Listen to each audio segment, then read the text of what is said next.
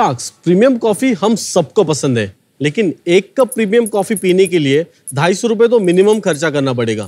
बिल्कुल। और रात भर जागने के लिए वही कॉफ़ी का बड़ा ग्लास चाहिए तो पाँच सौ रूपए खर्चने पड़ेंगे। मतलब एक कप प्रीमियम कॉफ़ी पीने के लिए मुझे मेरे जेब में छेद करना पड़ेगा? दूसरा कोई ऑप्शन नहीं है?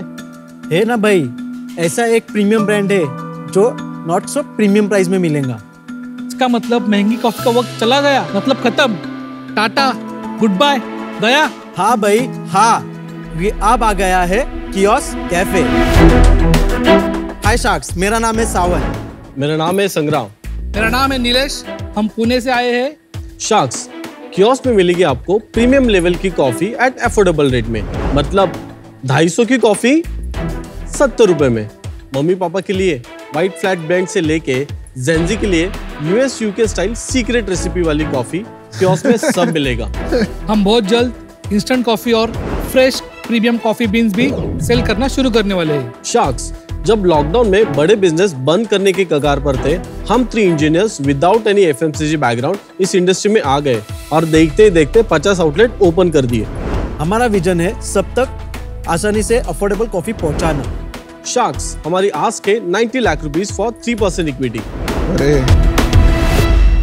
अरे sharks will you love to have a coffee of course नेकी और पूछ पूछ ऑफ़ कोर्स यार पिला दो। तो मेनू आपके डेस्क पे है। Bro I have a black coffee make that two okay I don't have coffee कुछ तो पी लो यार अजहर ये पी लो ना। रोस्टेड हेजलनट फ्रापे पी लो यार। क्यों सर सर ब्लैक कॉफ़ी आपका क्या नाम है? प्रणय। प्रणय सर कितने ब्लैक कॉफ़ी है? ब्लैक कॉफ़ी एक लाते बट स्ट्रॉन्ग चाहिए और एक हेजलनट फ्रापे आपका वैसे फ्लैगशिप क्या है? Cafe frappe is a very standard जिसमें कॉफ़ी शॉट आता है। दैट इज़ वेरी फ़ेमस ये मेन्यू आपका सेम हर कैफ़े पे मिलता है? एफएस में ब- अ, बड़ा मेन्यू है। वी हैव पुट डाउन सब best selling items on the लेकिन कटिंग वगैरह ऐसे करते हो आप? यस यस ये आपने ध्यान नहीं दिया कटिंग एकदम मार्जिन वार्जिन नहीं छोड़ा ऐसे ही कटिंग कर दिया। आधा केक कट रहा है आपका। एक्चुअली ये थोड़ा सा जल्दी में हुआ रहेगा। अच्छा। मोस्टली मेनू जो है टीवी पे अपना है डिस्प्ले ये आपने एलईडी पहना है? यस यस इट्स एलईडी आप तीनों दोस्त हैं? यस यस कॉलेज फ्रेंड्स हैं। तो आप कौन से कॉलेज में थे? Anantrao Pawar college of engineering job वगैरह भी किया है सीधा बस कॉफ़ी में ही आ गए? हमने आईटी जॉब्स किए हुए हैं। स्टार्ट कौन से ईयर में किया था एग्जैक्टली 24 दिसंबर 2020 कोविड का टाइम था we were sitting in a Starbucks and we were discussing तो वो टाइम पे संग्राम का ऐसे था कि मैं कॉफ़ी लेता हूँ। मैं और नीलेश हमेशा ऐसे डर जाते थे कि इतना महँगा कॉफ़ी हमको तो अफोर्ड नहीं होगा यार। तो हर टाइम हम लोग जाते थे तो हम एक ही कॉफ़ी लेते थे तीनों के बीच में जो कि बिल कर जाता था something around five hundred rupees क्योंकि संग्राम कुछ ना कुछ एड ऑन लेता ही था उसमें। तो वो बिलिंग देख के नीलेश और मेरी कॉन्ट्रो देने के लिए फट जाती थी। तो ये चीज़ से स्टार्ट हुआ था जर्नी कि अपना खुद का कुछ स्टार्ट कर ले। तो बस आप ऐसे कॉफ़ी पी रहे थे तो आपको लगा अभी जॉब छोड़ते हैं कॉफ़ी का बिज़नेस शुरू करते हैं। मतलब हम लोग सोच रहे थे कि सच में ये इतना एक्सपेंसिव बेचते हैं उसका प्राइस इतना होगा क्या? मतलब वो रिसर्च वहाँ से चालू हुआ कि नेस्कैफे कैफ़े है ना इंडिया में पुराना कॉफ़ी सस्ती होती थी। सर ये ब्रूड कॉफ़ी है अपनी फ्रेशली ब्रूड कॉफ़ी में आता है। दैट कम्स इनटू मतलब इंस्टेंट कॉफ़ी में आता है। तो दोनों का एक मार्केट अलग है।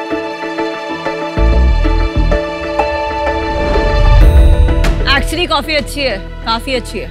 Thank you so much very nice आप ये लेबल वेबल दुकान में भी करते हो ऐसे सर्व करके नाम लिख के? डिलीवरी में डिलीवरी में जाता है सर ऐसे। रोस्ट कौन सा है जो आप पिला रहे हैं ब्लैक कॉफ़ी में?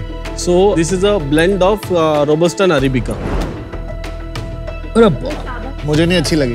बहुत स्ट्रांग है यार। बहुत स्ट्रॉन्ग है। मुझे बहुत अच्छी लगी आपकी कॉफ़ी जनरली ये माना जाता है कि एरोबिका प्रीमियम है रोबास्टा थोड़ा सा लेस प्रीमियम होता है तो कैफेज में जनरली रोबास्टा नहीं यूज़ करते सिर्फ़ एरोबिका यूज़ बट एक पंच होना चाहिए जो रोबस्टा का एक पंच होता है वो पंच आपको आएगा जो हमारे इसमें आता है। मैं इन जनरल चूँकि कॉफ़ी पीता नहीं हूँ तो टेस्ट पे ज़्यादा कमेंट नहीं कर पाऊँगा बट अगर न्यूबी की तरह देखूँ तो अच्छा ही टेस्ट लगा मुझे। वो ढाई सौ का आप सत्तर का बेचते कुछ तो अलग होगा वो क्या है कि उसका इतना महँगा है और आपका इतना सस्ता है? ब्रांड डिफरेंस है मतलब उनका एक ब्रांड है। ऑपरेशन कॉस्ट बहुत मतलब बड़े बड़े उनके लाउंजेस है ठीक है एकदम प्रीमियम लोकेशंस पे। तो हम लोगों ने वो ऑपरेशन कॉस्ट बहुत कम किए। मतलब हमारे क्योस पे खाली मतलब मॉर्निंग के लिए एक बंदा रहता है इवनिंग के लिए दो बंदे रहते हैं। कितने क्योस के आपके? वी हैव 50 आउटलेट्स मतलब वो एक्सपीरियंस बेच रहे हैं कॉफ़ी सेम है।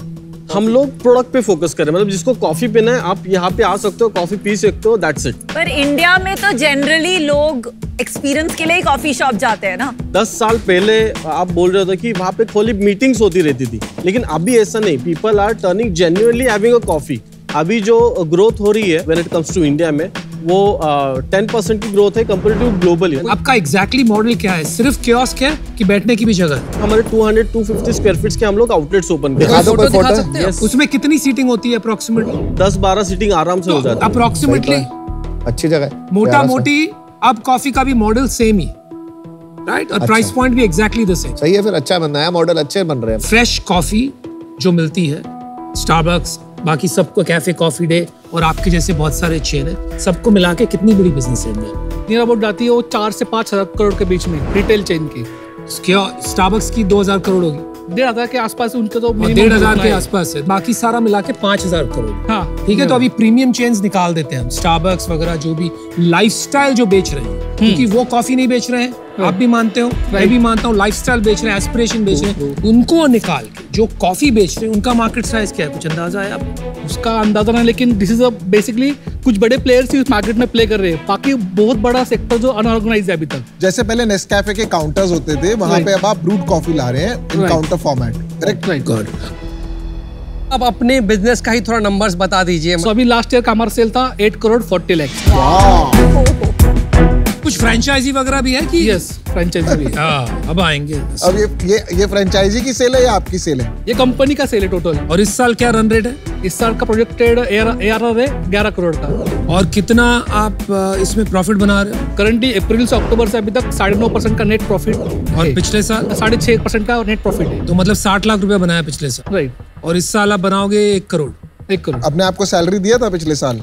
यस सेवेंटी फाइव था ईच पर मंथ एंड इसमें कितना फ्रेंचाइजी कंट्रीब्यूशन कितना आपका डायरेक्ट है? दस आउटलेट कंपनी के हैं और फोर्टी आउटलेट्स फ्रेंचाइजी के हैं। एक करोड़ कम तो नहीं है मस्त कमाया अच्छा कमाया। तो अब खुश हो?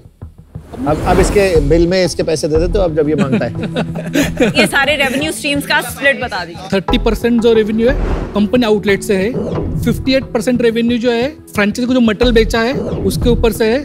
ढाई परसेंट जो है रॉयल्टी से है रेवेन्यू और रेस्ट जो आठ या नौ बचा है वो फ्रेंचाइजी का फ्रेंचाइजी का है। तो इसको रेकरिंग रेवेन्यू नहीं है। जब जब फ्रेंचाइजी ऐड करेंगे तभी आएगा। यस कितना लेते हो आप एक फ्रेंचाइजी फ़ी का? तीन लाख। आप जो 58 परसेंट मटीरियल का लेते हो राइट उस पर क्या रेवेन्यू बनेगा फ्रेंचाइजी का? ऑलमोस्ट टू एंड हाफ़ के नियर बाई बन जाएगा। 20 percent is the cost of material जो आप no no cost of material is forty five percent for franchisee for franchisee तो टू एंड हाफ़ कैसे बनेगा? टू टाइम्स ही बना।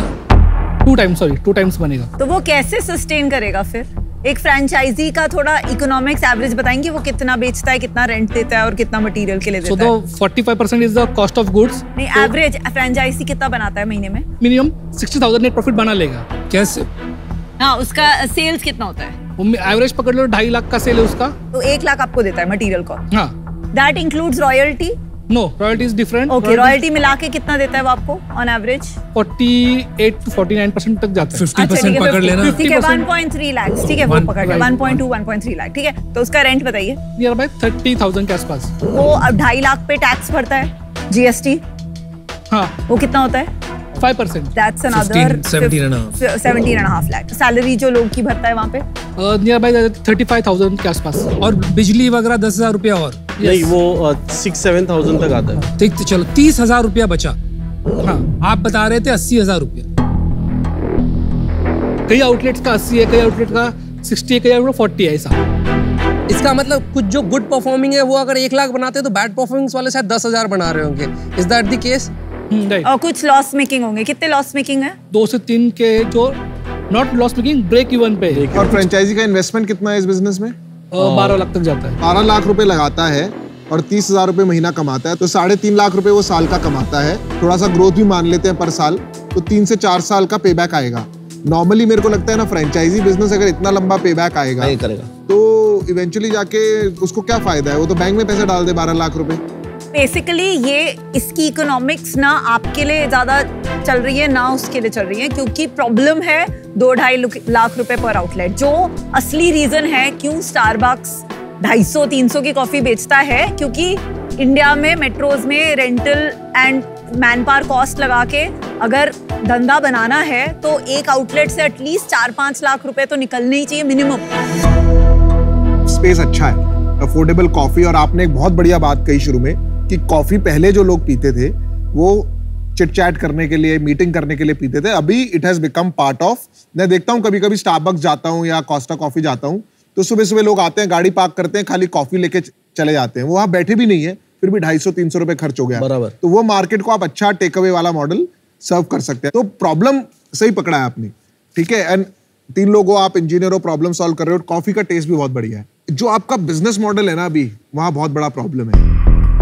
क्योंकि जब आप इसको स्केल करने जाएँगे रेंटल कॉस्ट इतना नहीं रहेगा पीपल कॉस्ट इतना नहीं रहेगा कंप्लायंस कॉस्ट तो आपको रेवेन्यू पर आउटलेट बढ़ाना पड़ेगा और आउटलेट मत खोलिए। जब ये रेवेन्यू छह सात लाख पहुंचेगा, तब जाके एक यूनिट इकोनॉमिक्स मॉडल बनेगा। तभी ये इन्वेस्टेबल है, तभी ग्रो करेगा। अभी के लिए मैं बाहर हूँ बट फिक्स टाइम आप लोगों के बिज़नेस के नंबर्स और जिस तरह से आप चीज़ें एक्सप्लेन कर रहे हैं, इसमें टू मच कंफ्यूजन है। इधर तो आप एक्सप्लेन सही से नहीं कर रहे हैं, या फिर आप बिज़नेस को सही से समझ ही नहीं रहे कॉर्पोरेट में जो पान का दुकान होता है, वो भी दस लाख रुपए का माल बेच देगा। तो अभी आपका पर स्टोर जो सेल है, वो बहुत कम है। यहाँ पे बिज़नेस ऐसे तो नहीं बनेगा। तो मैं उस कारण से आउट होना चाहूँगा मैं भी आउट हूँ। मेरे को लग रहा है आप लोग अपने ना धंधे के मज़बूत खिलाड़ी नहीं हो।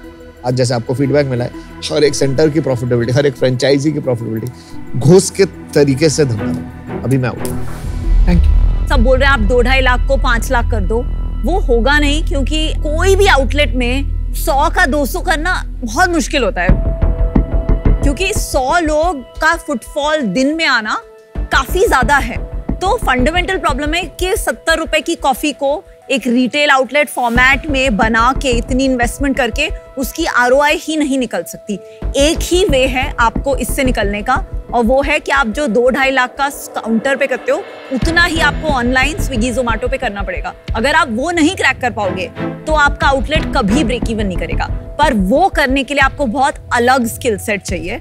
आज उसका कोई क्लैरिटी uh, नहीं है आप में वो स्किल सेट है ऑनलाइन बिज़नेस बनाने का तो आज इस मॉडल में इन्वेस्टेबल नहीं है और मैं आज आउट आपको पता है कि कॉफ़ी हर देश में बहुत सस्ती है सिर्फ़ इंडिया में सस्ती नहीं है राइट यूएस में भी सस्ती है। आपको क्यों लगता है कि सारी चेन्स जो हैं यूएस में या कहीं भी यूरोप में वो तीन चार पाँच डॉलर में क्यों बेचती है एक कप कॉफ़ी क्योंकि coffee is a commoditise business right coffee का जो टेस्ट है वो ऐसी चीज़ नहीं कि एक बार पी लिया तो मैं हमेशा यही पीऊँगा उसकी आदत पड़ती है। यस तो आप 20 बार 30 बार जब एक जगह पीते हो ना कॉफ़ी तब जाके आपको आदत पड़ती है then you want to go back to that place इसीलिए people have led with providing a lifestyle तो कॉफ़ी लाइफस्टाइल के माध्यम से बेची जाती है whether it is Costa Coffee और इट इज़ स्टारबक्स आप चाह रहे हो नीचे से कि मैं कॉस्ट प्लस पे बेचूँगा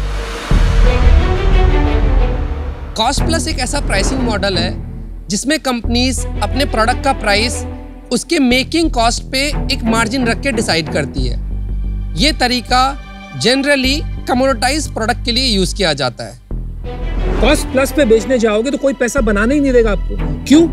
क्योंकि या तो आप दो चीज़ करोगे। Either you will go on delivery platforms delivery platform अपना मार्जिन लेके, अपना कमीशन लेके, वहाँ पे बहुत से लोग मिलेंगे जो कॉफ़ी बेच रहे हैं। तो you will have to compete on price and advertising on the platform तो सारा मार्जिन चला जाएगा। दूसरा ऑप्शन है आपके पास बिज़नेस पार्क्स राइट जहाँ पर रेगुलर ट्रैफ़िक होती है और retail centres again bargaining power is with them competition रहेगा वो रेंट बढ़ाते रहेंगे आपकी मार्जिन खत्म. Right so that's the problem with your model I am out good luck thank you sir thank Thank you. Bye Thank you, Shams. Thanks bye bye